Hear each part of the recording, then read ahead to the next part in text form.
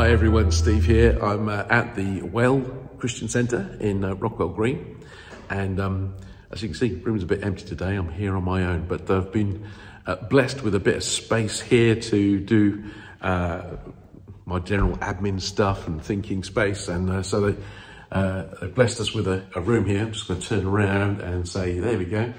there's my, my, my little desk um, that gives me an opportunity to, to sit down and do some stuff sometimes, um, which is uh, great to get out of the house and uh, and have a bit of thinking space. So um, really, really want to just shout out appreciation to the, the team here at the Well um, for, for Dan and, and the crew for um, just giving us this space. Um, what I'm doing right now, uh, as well as the, the admin stuff, um, is uh, just preparing for Sunday. And I thought I'd put out uh, a, a heartfelt request to uh, to invite you.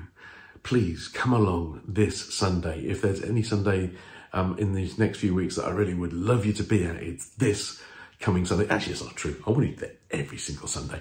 Um, but but th this is be the beginning of the Genesis series that I'll be doing as an occasional break into Scripture over these next um, weeks, months.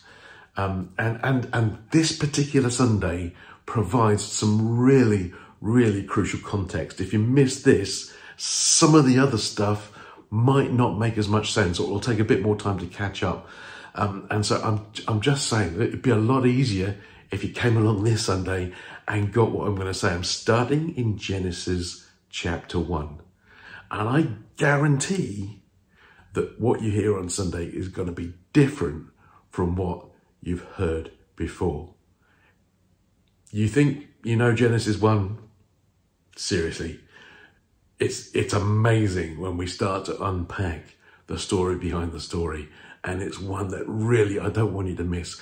And it will also be so helpful as we start going further into Genesis and some of the stories and experiences that come through uh, the, the creation narrative, through Adam and Eve, through Noah, through um, even uh, getting into Abraham and it's it's just setting the groundwork for all that stuff. So um, if if you don't get this bit, uh, it's like building a house without foundations. This is the foundational moment that will actually set a path for the way that Genesis unpacks for us. So really, please, please, if you can, get along this Sunday. We're going to meet for the usual tea, coffee and chat uh, at the beginning on, on um, uh, like 10.30 onwards and we'll get into a time of beautiful worship uh, and word from uh, 11 o'clock onwards. Please come if you can.